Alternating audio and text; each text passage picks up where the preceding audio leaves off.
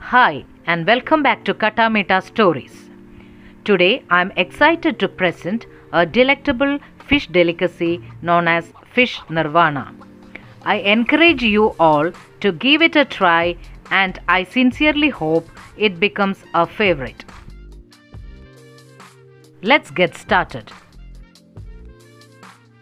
For this recipe, I have chosen seer fish. To marinate the fish, I have used a blend of turmeric powder, salt, pepper powder, red chili powder, a hint of lemon juice, and a dash of coconut oil.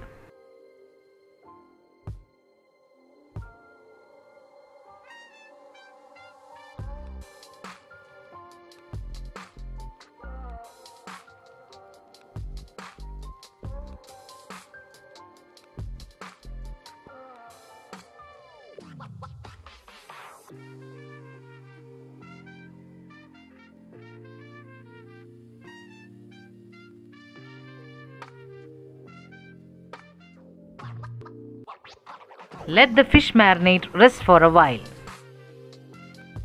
Begin by heating some oil in a pan. Add fresh curry leaves to infuse the oil with flavor. Then fry the marinated fish on medium heat until it achieves a slight golden brown hue on both sides.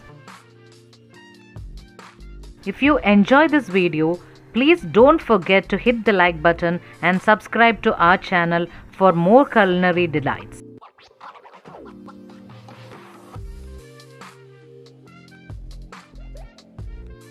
To prepare the dish, line a clay pot with a banana leaf and drizzle a touch of coconut oil. Sprinkle some more fresh curry leaves and gently place the fried fish.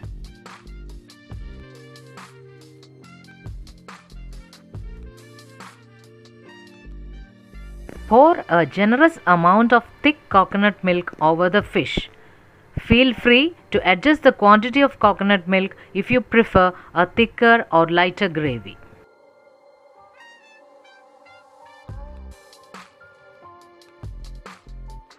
Add a teaspoon of finely sliced ginger, 2 tablespoons of thinly sliced raw mango, a pinch of pepper powder, salt, turmeric powder, green chilies, more curry leaves, and a drizzle of coconut oil. Cover the pot and let it cook for 10 to 15 minutes over low flame, adjusting the cooking time to achieve your desired gravy thickness. Once it is ready, you can enjoy this exquisite dish with rice, appam or rotis.